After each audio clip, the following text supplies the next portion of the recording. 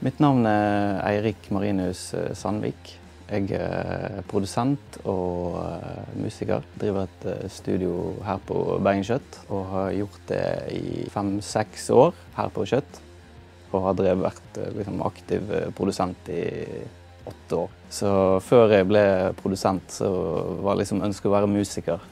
Det var så mange kompiser som hadde begynt å liksom, produsere litt. Og sånt. Og så ble jeg bitt helt av basillen ja, sluttet i nesten alle band og bare begynte å Jeg hadde som mål om å ta opp noe liksom trommer eller bandting hver eneste dag i ett år. Så det var liksom det første, jeg, første året. da. Jeg tror det er veldig mye sånn læring i å bare gjøre det. Ikke liksom gidde å lese for mye om det. Bare prøv masse random greier. Prøv alle mic-posisjonene.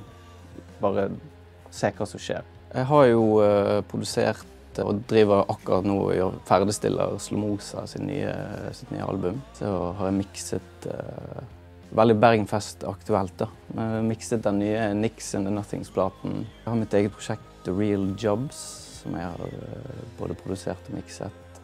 Og Heatwaves, som jeg også spiller i. Jeg jobber med Fred på jorden, Ekkolodd. Ja, mange kule Kanskje litt underground bergensband.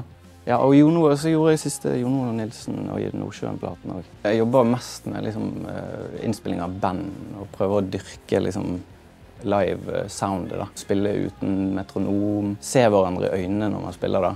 At det ikke er så farlig at for tempoet går litt opp og ned så lenge man eh, gjør det sammen. Det er kanskje litt eh, old school, på en måte, men jeg tror fortsatt det er noe i det der. da.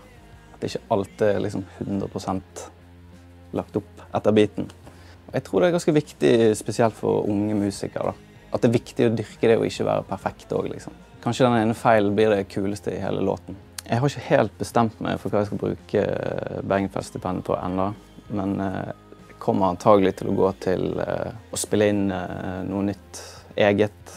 Som ofte kan være vanskelig å liksom, få støtte til. Da. Og ofte må gjøres uten lønn. Så det er jo en fantastisk mulighet til å kunne gjøre noe eget og ikke sitte igjen med skjegget i postkassen.